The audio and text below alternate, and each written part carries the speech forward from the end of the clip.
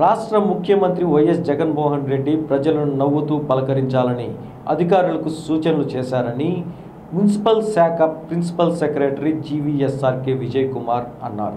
ఏడాది పాలనలో సీఎం సమీక్షా సమావేశం సందర్భంగా సీఎం నవ్వకుండా మాట్లాడితే కొందరు అధికారుల గుండెల్లో గుబులు పుట్టడం తాను గమనించానని ఆయన అన్నారు. పరిపాలనలో పరిపాలన చేసే నాయకునిలో హ్యూమిలిటీ అండ్ హ్యుమానిటీ ఒక నానుడు ఉంది తమకు తాము హెచ్చించుకున్న వారు తగ్గించబడుదురు తమకు తాము తగ్గించుకున్న వాళ్ళు హెచ్చించబడుదురు అని. అయితే ఇక్కడ ప్రభుత్వాధినేతగా ప్రభుత్వ ప్రభుత్వాన్ని చేపట్టినప్పుడు అధికారం చలాయించవచ్చు నియంత్రణ చేయవచ్చు కానీ నిమ్మరతతో పాలించటం జనపాలన సాగించటం అన్నదే దీనిలో ఉన్నటువంటి వ్యత్యాసం. ఉదాహరణకి ఈ వార్షికోత్సవానికి నా పాలన మీ సూచన అనొచ్చు. కానీ మన పాలన మీ సూచన అన్నారు. దట్ ఈస్ ది హ్యూమిలిటీ అలాగే హ్యుమానిటీ హ్యుమానిటీ గురించి వారితో పనిచేసిన అధికారులు ఎవరిని పలకరించినా చెప్తారు. అయితే నాకు ఉన్న ఒక అనుభవం చెప్తాను నేను.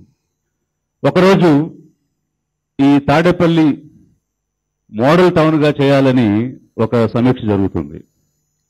ఆ సమీక్షలో భాగంగా చాలా కాలువలు కొండగుట్టల మీద ఇళ్ళు వేసుకుని నివసిస్తున్న వారందరికీ శాశ్వత ప్రాతిపదికన మనం ఇళ్ళ స్థలాలు ఇద్దామని గౌరవ ముఖ్యమంత్రి గారు అన్నారు. అప్పుడు మంత్రి గారు బొత్స సత్యనారాయణ గారు సార్ మనం పట్టాలు ఇచ్చినా కూడా వాళ్ళు అక్కడి నుంచి వెళ్ళరు మళ్ళీ అక్కడే ఉంటారు అని అన్నప్పుడు అలా అయితే అన్ని మౌలిక వసతులతోటి ఒక కాలనీ ఏర్పాటు చేసి ఇల్లు కట్టించి అప్పుడు వారందరినీ కూడా అక్కడికి షిఫ్ట్ చేద్దాం మారుద్దాం.